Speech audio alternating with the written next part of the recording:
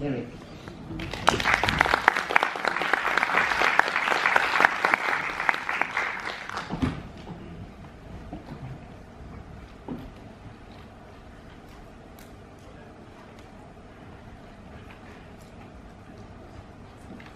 Good morning. Good morning. So my name is Eric. I am from Canada, and I have a permanent ileostomy. But I'm a happy ostomate.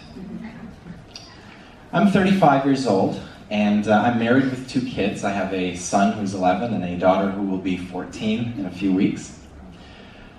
These days I enjoy uh, web design, uh, purely for hobby. I uh, enjoy going outdoors a lot, hiking, and I also enjoy thrill rides, roller coasters, that sort of thing. I work as an account manager for a company that supplies to the print industry, and I've been doing that for well over a decade now. And I receive a lot of my moral support through family, but also a lot of online friends who happen to also be ostomates. While I was in hospital, I was given a one-piece appliance. Now, that system was given to me um, more or less as a starter system. And I decided to change that appliance approximately every two days, and I find that because the stoma is so swollen after surgery, I found it difficult to maintain uh, any wear time longer than that because as the stoma would shrink, I would start to get leaks and other skin problems. So two days was a sweet spot for me. And having the clear bag also allowed me to monitor my stoma's health, make sure everything was going fine. I also had a little bit of interest in seeing what was going on. I do find that generally, for me, one-piece systems can't always get a perfect fit, so I have moved on to a two-piece. My preference is a clear appliance still, but I do usually wear a pouch cover with that. Now in Canada, we generally try to aim for a wear time of about seven days, and a lot of that has to do with the fact that patients often have to pay for their own supplies out of pocket. I find that a good balance for me is about three to four days, and you know, I get good skin health, but it's also very economical doing it that way. I also use supplies like barrier rings and flange extenders, but I only use them when I need to. I don't use them all the time. But I'm a big fan of some of the accessories. So things like pouch covers, um, ostomy support bands, and pouch deodorant. I don't find that they're necessary, but they definitely improve my quality of life. So I'd like to just share my story from diagnosis to recovery. So in 2007, I was having some symptoms that were not necessarily uh, digestive related, and um, I had seen a doctor and in 2008. I had a colonoscopy, and I ended up um, being formally diagnosed with Crohn's disease. Now, at the time, I didn't really think too much of it. My symptoms were relatively minor, but uh, over the next few years, uh, they started to get increasingly worse. I developed multiple fistula, I had severe perianal disease, and I was generally in very poor health. I did spend several months um, bedridden, essentially, and uh, that continued through until about 2012. Now, through that time, I was uh, going the standard route with medication. I had been on steroids, biologics, anti-inflammatories. I also explored some of the alternative therapies, but nothing helped. So in 2013, my GI, uh, who had done another colonoscopy, suggested that I may be a likely candidate for an ostomy. At the time, I was very apprehensive. I really didn't know what that entailed. I thought that perhaps an ostomy would mean I wouldn't be able to do much, and I was quite worried about that. But I had a good nurse who assured me that I'll be just fine. So in 2013, August to be specific, I was given a permanent ileostomy, and um, I've been happy ever since.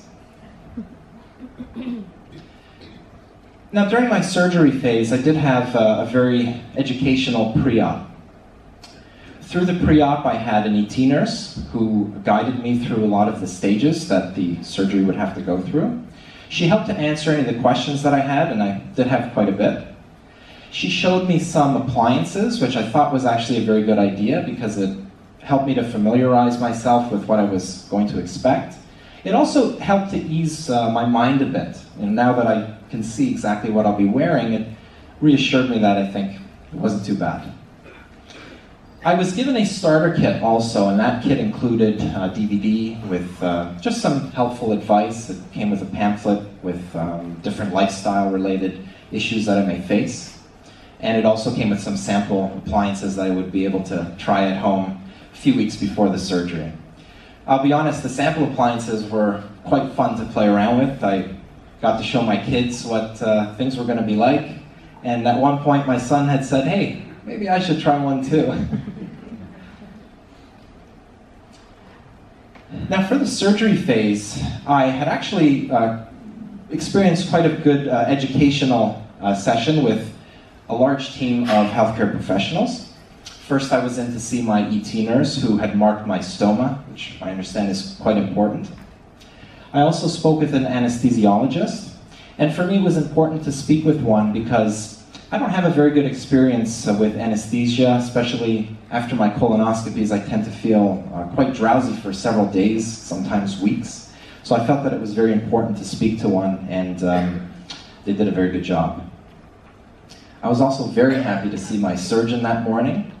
Uh, her and I had a very brief talk. Um, gave me a, a, big morale boost, which I think is extremely important, especially because I know a lot of patients are very nervous about what the surgery might entail. But I really, at that point, wanted to have surgery because my quality of life was next to nothing. The medical staff in general was very helpful, keeping me calm. Um, obviously, there were quite a few things that needed to be prepped uh, before the surgery, and they got everything together. Now, my hospital stay was approximately five days, and during that time, I was able to see my ET nurse more than once. I had a lot of questions for her and just wanted to make sure that I was applying my appliance properly. I also spoke with a dietitian, and I felt that that was important for me specifically because one of the concerns that I had was diet, and since I'm vegan, which means I don't eat animal products, my diet tends to be very high in plant matter, high fibrous foods, and that sort of thing. So uh, the dietitian was able to give me a lot of information, very helpful, and uh, I think that really eased my mind, and I, I, feel very comfortable around food now. Now, I was a very proactive patient in the hospital, so I wanted to change my appliance right away. And uh, I did have nurses that were helping to make sure that I was doing the right thing, making sure that everything was okay. And I really appreciate that help. Now, I was also sent home with a care package, and that was more to uh, get me set up for the next few weeks following the surgery. And I was sent home with quite a few um, pouch, uh, one-piece pouches, uh, deodorant, stoma powder, and that sort of thing. And I think it's actually good for patients to know that those supplies are available because sometimes if you have a concern about smell, for example, it's nice to know that a pouch deodorant is available.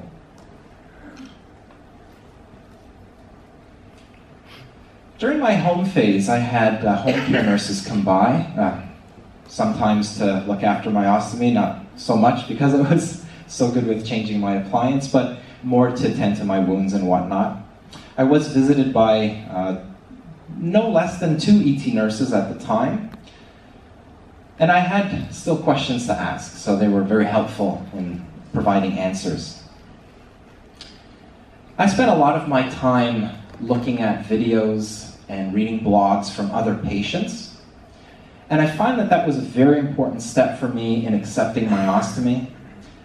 I think the feeling of you know, not being able to do anything weighs heavily on a lot of patients' minds. So being able to see other patients doing everything really makes you feel good. Now, on a daily basis, I tend to do pretty much what I want. I enjoy going to the amusement park. I know it's a big running joke in my family, but I probably spend more time there than at home. In a few months, I actually plan to do bungee jumping with my 14 year old daughter, and at some point, I'd like to do skydiving. My ostomy will not stop me. I was so inspired by other patients sharing their story that I decided to start my own website. to help other ostomates. So I currently run the Vegan Ostomy website. And the reason why it's Vegan Ostomy was because of the big concern that I had about diet and lifestyle, maintaining that.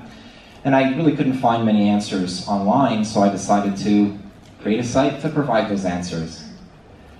Currently, the site sees over 10,000 unique visitors from over 150 countries around the world.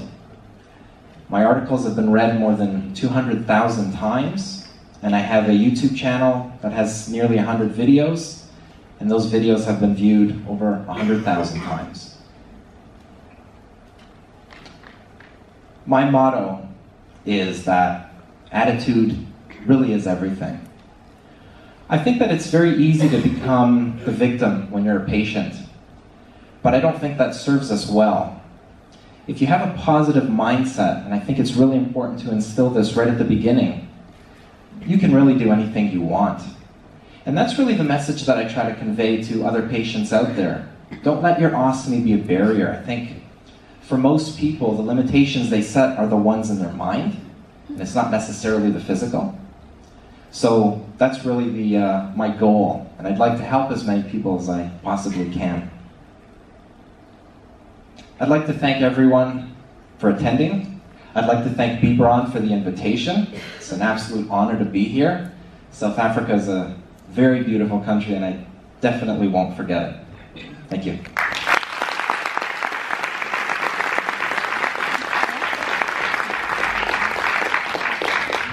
Thank you. Thank you very much for this uh, fantastic testimonial.